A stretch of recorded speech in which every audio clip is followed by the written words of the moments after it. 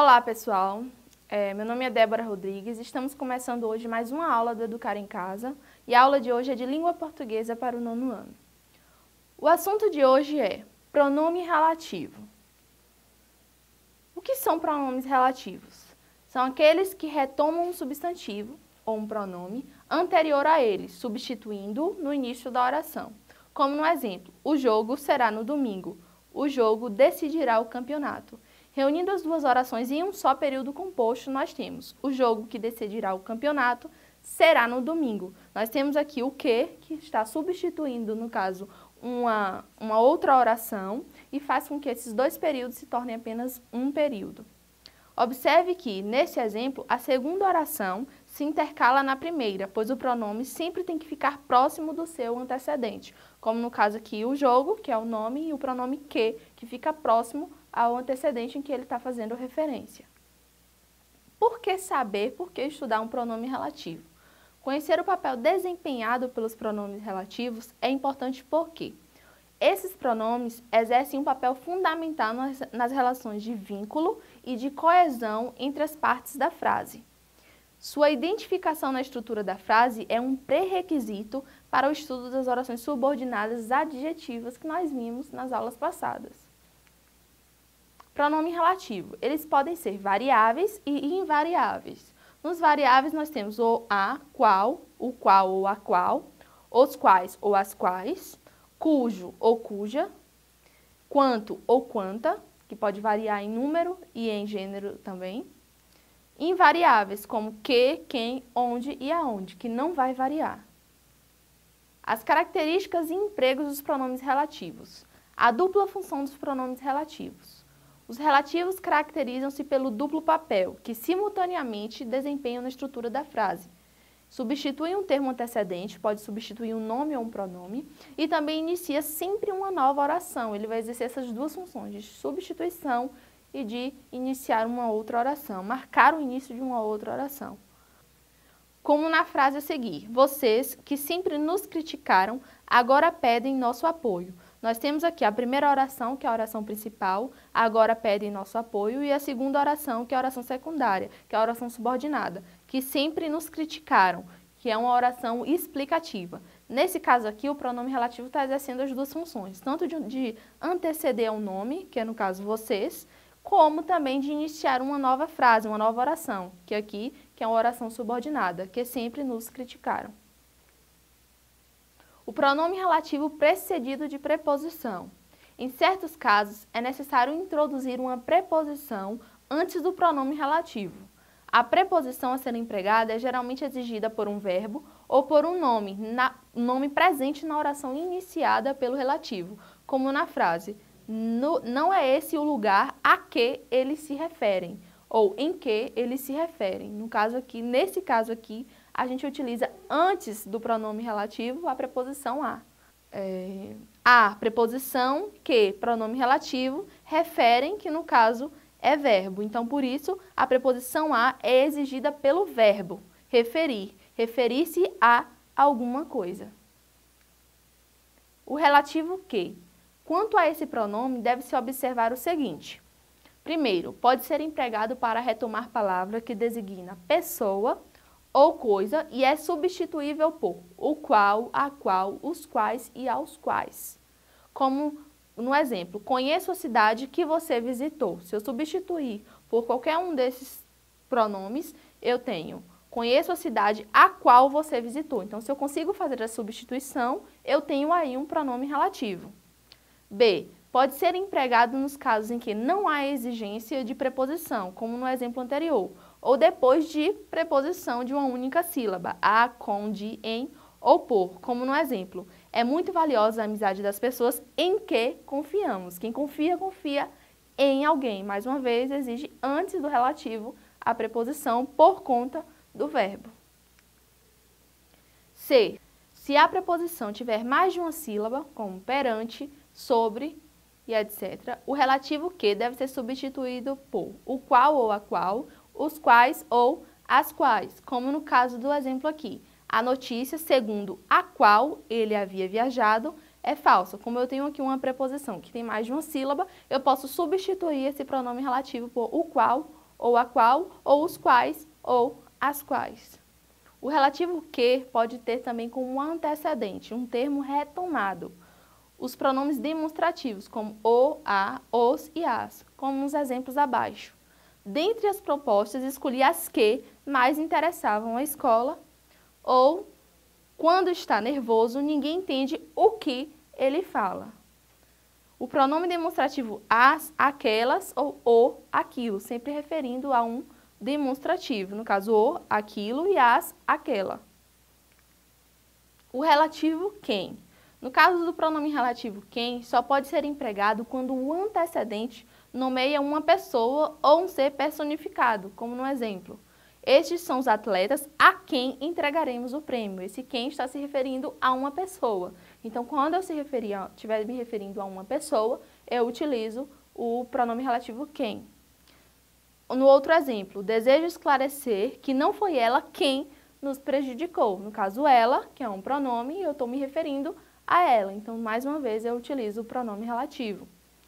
O funcionário a quem entreguei o envelope faltou hoje. Mais uma vez, me referindo a uma pessoa, eu uso mais uma vez o pronome relativo quem. O pronome relativo cujo ou cuja. Esse pronome sempre estabelece uma relação de posse e é empregado entre dois substantivos, como no exemplo, serão atendidas as pessoas cujos nomes constem na lista. Nós temos aqui dois substantivos, pessoas e nomes. Então, quando eu, eu coloco sempre esse pronome, esse pronome relativo entre dois nomes. Pessoas cujos nomes, nomes das pessoas, ideia de posse. E função sintática desse relativo é de adjunto adnominal, porque vem sempre de junto de um nome, sempre entre o nome. O pronome onde ou aonde. Essas duas formas de pronomes relativos só podem ser empregadas para indicar um lugar e têm usos diferentes, como no exemplo, onde indica lugar em que. Como no exemplo, visitarei a cidade onde nasci, ou seja, visitarei a cidade em que nasci. E aonde indica lugar a que. Conheço a cidade aonde você irá. Conheço a cidade a que você irá. Aquela cidade que você irá. Relativo quanto ou quanta. A palavra quanto e suas variações funciona como relativo quando é empregada depois dos indefinidos tudo, ou todos, toda, ou tanto, ou tanta. Você fará os exercícios tantas vezes quantas forem necessárias, tantas vezes quantas forem necessárias. No outro exemplo, ele já comprou tudo quanto precisará durante a viagem. Então, ele, nesse caso, vai funcionar como relativo porque ele vem depois dos indefinidos. No caso do cima, vem tantas e tudo. Pronomes relativos podem ser que, quem, qual, onde, cujo e quanto. Quando eu tenho aqui na frase, comprei um carro, o carro é lançamento. Eu coloco o pronome relativo que, comprei um carro que é lançamento. Estou me referindo ao nome, mas eu não estou me referindo a uma pessoa. Então, o pronome usado aqui é o pronome que. Que eu posso substituir por o qual. Toda vez que eu substituo por o qual, então, o pronome que entra na frase é o pronome relativo que.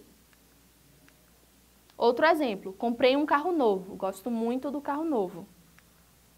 Comprei um carro novo. De que gosto muito? Eu tenho sempre aí uma preposição, porque eu estou me referindo a um verbo. Então, quando eu faço referência ao verbo, eu tenho aqui um de que, sempre uma preposição antes do relativo. Do qual pode ser substituído. Conheço uma menina, o pai da menina é delegado. Conheço uma menina cujo pai é delegado. Como eu estou me referindo a uma pessoa, entra aí o pronome relativo cujo. A função do pronome relativo. Para sabermos a função sintática que o pronome relativo vai desempenhar na oração, basta substituí-lo por seu antecedente, a palavra que é substituída pelo pronome, e verificar que função ela teria na oração adjetiva. Como no exemplo, gostei do vestido que você estava usando. Você estava usando o vestido. Então, aqui nesse caso, é só substituir pelo termo antecedente e saber a função em que ele exerce.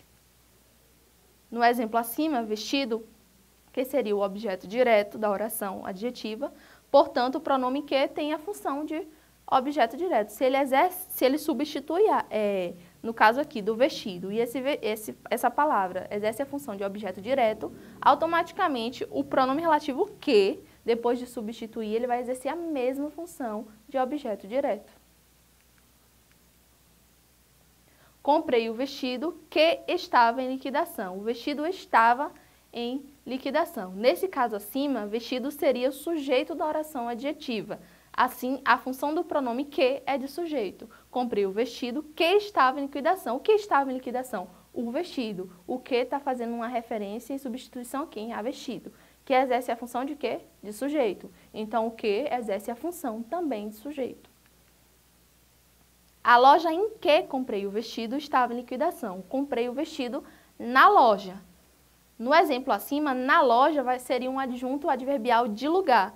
Portanto, o pronome que, nesse caso, vai funcionar como adjunto adverbial de lugar, porque eu digo em que, ou seja, o lo local onde eu comprei o vestido foi na loja. Então, adverbial de lugar, adjunto adverbial de lugar. Os vestidos cujas cores eram mais atraentes foram vendidos logo. As cores dos vestidos. O pronome relativo está se referindo às cores dos vestidos. Então fica. Nesta oração, dos vestidos seria um adjunto adnominal. Assim, a função do pronome cujas também é adjunto adnominal, porque está adjunto do nome vestidos. Essa é a garota que nós vimos na TV. Nós vimos a garota na TV, mais uma vez fazendo referência ao nome. No caso acima, a garota seria o objeto direto da oração adjetiva. Assim, a função do pronome que é de objeto direto. O livro de que preciso é este, preciso do livro. Mais uma vez, nesta oração, o livro seria um objeto indireto. Assim, a função do pronome que é de objeto indireto. O livro de que preciso, objeto indireto. Voltarei a ser a boa aluna que eu era.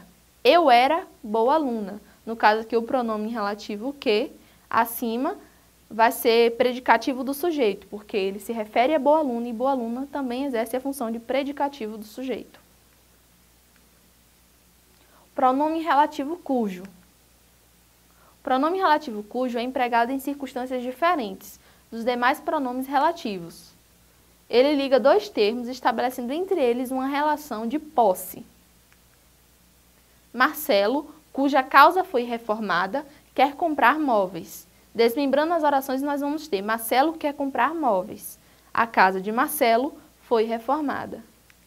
Na frase anterior, a expressão de Marcelo, que o pronome cujo substitui, é um adjunto adnominal. Com o pronome cujo, sempre acompanha um nome. Sua função é de adjunto adnominal. Sempre o cujo, ele vai acompanhar o nome, ele vai fazer referência ao nome. Então, ele sempre vai ter a função de adjunto adnominal.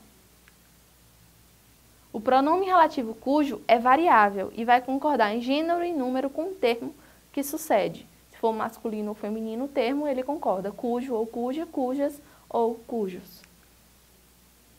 Nunca há artigo após o pronome cujo. Eu não falo cujo ou, cujo há. Nunca tem é, artigo após esse pronome. Pronome relativo onde. Pronome relativo onde é empregado somente para indicar um lugar concreto, nunca numa uma situação. A escola onde estudo é excelente. Estudo na escola. Então, estou indicando lugar e não situação.